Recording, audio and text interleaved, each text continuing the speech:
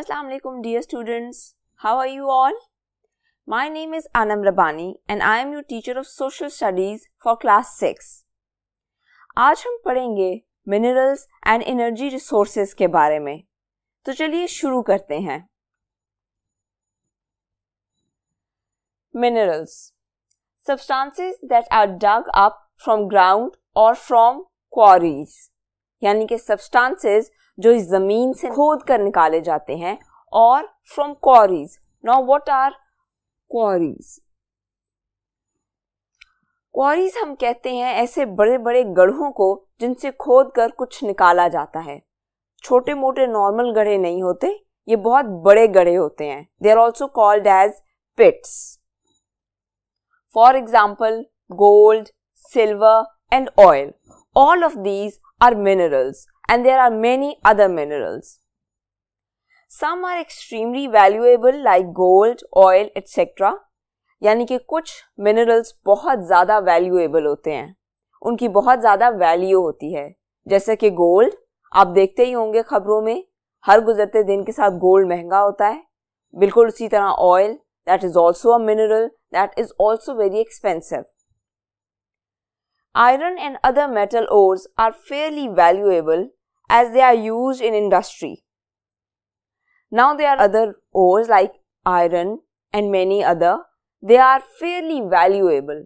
यानी कि वो भी बहुत कीमती होते हैं क्योंकि वो इंडस्ट्रीज़ में यूज़ होते हैं they are not as valuable as gold और यूरेनियम और oil but they are fairly valuable rocks like limestone or marble are not as valuable but present in huge amounts.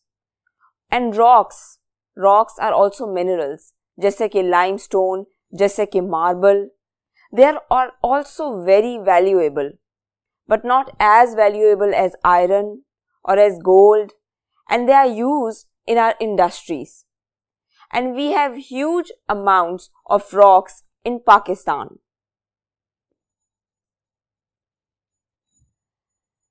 Let's talk about oil. Pakistan has very little oil, though its neighbors like Saudi Arabia, Iran, the Gulf states like Bahrain, Kuwait, Iraq, Oman, Qatar, UAE have large amounts.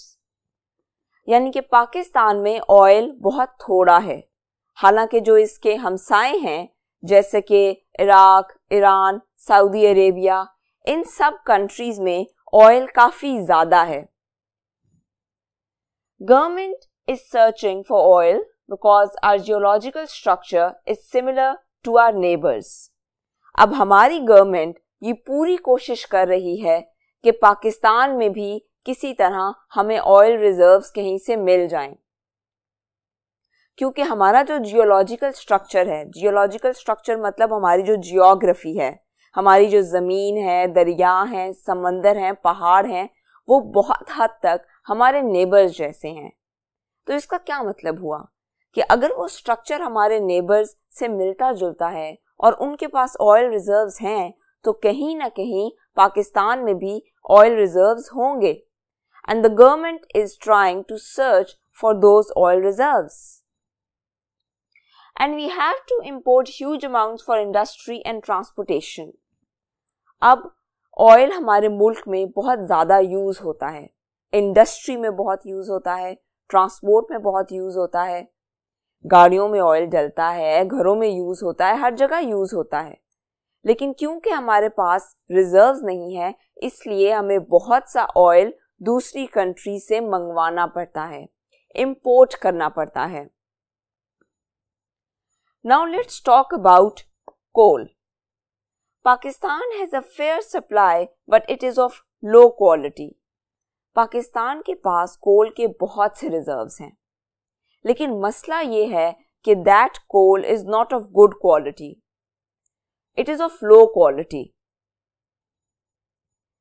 produce a lot of sulphur gas and ash but does not give much heat यानी कि जो कोल हमारे पास है, जब उसको जलाया जाता है तो वो ज़्यादा हीट नहीं देता, बल्कि सल्फ़र गैस निकलती है एंड ऐश ऐश लाइक जब आप लकड़ी जलाते हो तो पीछे जो बच जाता है दैट इज़ कॉल्ड ऐश तो जब हम उस कोल को जलाते हैं that is of low quality तो बहुत सी सल्फ़र गैस निकलती है एंड ऐश इज़ लेफ़्ट पर जो हमें चाहिए, जो हमारा मेन पर्पज है दैट इज़ हीट हमें वो बहुत कम मिलती है. Then mixed with imported coal of high grade can not be use तो इस मसले का हल क्या है? इस मसले का हल ये निकाला जाता है कि हम दूसरी कंट्री से अच्छी क्वालिटी का कोल इंपोर्ट करते हैं, उनसे खरीदते हैं, उनसे मंगवाते हैं। लेकिन ऑब्वियसली फिर इस वजह से हमें एक कीमत अदा करनी पड़ती है, क्योंकि हमारा कोल लो क्वालिटी का है। जब हाई क्वालिटी कोल मंगवाया जाता है तो वो दूसरे मुल्कों से खरीदा जाता है, जिसकी वजह से हमें वो महँगा पड़ता है।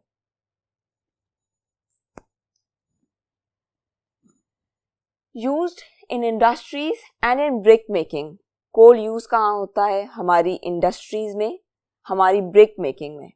इंडस्ट्रीज़ में ऑब्वियसली जलाया जाता होगा हीट प्रोड्यूस होती होगी मशीन्स चलती होंगी। एंड इन ब्रिक मेकिंग यानी कि ईंटों के बनाने में इस्तेमाल किया जाता है। You must have seen huge brick kilns कहीं जाते हुए आपने देखी होंगी कि बड़ी बड़ी ब्रिक किलन्स बनी हुई होती हैं। उनमें कोल यूज़ होता है। Recently an area of high quality coal has been discovered in Thar and mines are being developed for future use अब एक अच्छी खबर ये है कि थर में कुछ कोल रिजर्व्स मिले हैं।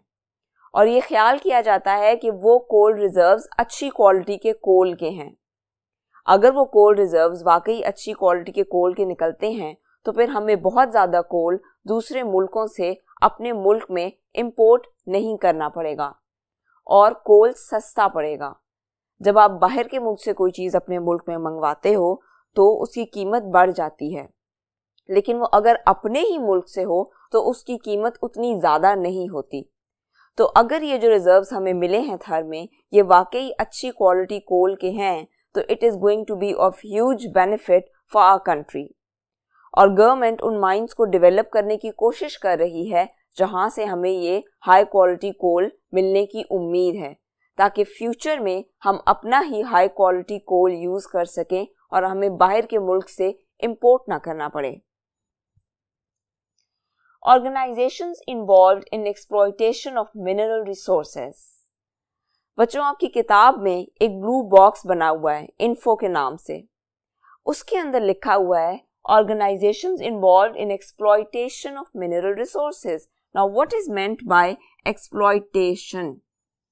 Exploitation का मतलब होता है कि मिनरल्स जहाँ से निकाले जाते हैं उनको किस तरह ट्रांसपोर्ट किया जाता है तो पाकिस्तान में जो कॉरपोरेशन एक्सप्लॉयटेशन में इन्वॉल्व हैं they are as follows geological survey of Pakistan oil and gas development corporation Pakistan mineral development corporation जिसको पीएमडीसी भी कहा जाता है। These organisations are extremely important for the exploitation of minerals अब हम बात करते हैं नेचुरल गैस के बारे में Pakistan is excellent supplies of natural gas created by large number of plants that probably grew in or around a great inland sea many years ago. अच्छी बात यह है कि we have huge reserves of natural gas यानी कि हमारे पास natural gas बहुत तादाद में है और ये बनी शायद तब, जब बहुत साल पहले कुछ दरख्त दबा दिए गए और वो वक्त के साथ ड्रॉट होते रहे and finally they formed gas once they were buried they rotted away यानी कि एक दफ़ा जब वो ज़मीन के नीचे दब गए और फिर उनको छोड़ दिया गया they rotted away and finally they formed gas extraction extraction का मतलब होता है कि गैस को ज़मीन से निकाला कैसे जाता है। Pipes are drill down to the gas and it is brought to the surface to be treated यानी कि देर आर ह्यूज पाइप्स जिन्हें ज़मीन में डाला जाता है, जहाँ पे गैस है, वहाँ से गैस को निकाला जाता है, उसको ज़मीन के ऊपर लाया जाता है और उसको प्रॉपरली ट्रीट किया जाता है फॉर यूजेज ऐसा नहीं है कि जब वो ज़मीन से निकाली जाती है तो डायरेक्टली आपको घरों में दे दी जाती है it is properly treated it has to go through a certain process. Now, its uses. Used in industry for heating boilers. Boilers क्या होते हैं? Boilers बड़ी बड़ी machines होती हैं जिन्हें चलने के लिए हीट चाहिए होती है। उनको हीट देने के लिए नेचुरल गैस यूज़ की जाती है। So it is use in industries as raw material for fertiliser यानी कि फर्टिलाइजर्स को बनाने के लिए भी नेचुरल गैस यूज़ की जाती है। फर्टिलाइजर्स यानी कि खाद। Can be compressed into steel bottles for use in homes अब नेचुरल गैस का फ़ायदा ये है कि जब आप उसको कंप्रेस करते हैं, उसको दबाते हैं, उस पर प्रेशर डालते हैं तो वो स्टील बॉटल्स में स्टोर की जाती है। इट बिकम्स अ लिक्विड और फिर वो घरों में यूज़ की जा सकती है। आपने देखा होगा, आपके घरों में सिलेंडर्स होंगे, जिनमें गैस होगी, गैस स्टोर की हुई होगी, ताकि अगर कभी गैस ना आए तो वो सिलेंडर वाली गैस यूज़ की जा सके। Turns to liquid under pressure, which makes it easier to store, but becomes highly flammable under normal atmosphere फिर वही बात कि उसको कंप्रेस करके लिक्विड फॉर्म में स्टील बॉटल्स के अंदर स्टोर किया जाता है। लेकिन अगर आप उस स्टील बॉटल को खोलो और रन आग पकड़ती है इसीलिए आप उसको जलाए बगैर खुला नहीं छोड़ सकते। अगर आप ऐसा करोगे तो वो फैलती रहेगी। इसलिए आपको इस बात का ख्याल करना है कि वो या तो बंद रहे स्टील बॉटल में या फिर उस पर आग जल रही हो ताकि वो बिला वजह जाया ना होती रहे। Now coming towards the blue box that is present in your book. Natural gas is odorless, यानी कि उसकी कोई खुशबू नहीं होती। अगर वो फैली हुई है तो आपको पता नहीं लगता कि गैस लीक हो रही है। And an odoriser specially added to it और उसके अंदर एक स्पेशल एलिमेंट ऐड किया जाता है, ताकि उसकी कोई स्मेल बने। ऑब्वियसली अगर उसकी स्मेल नहीं होगी तो आपको कैसे पता लगेगा कि गैस लीक हो रही है?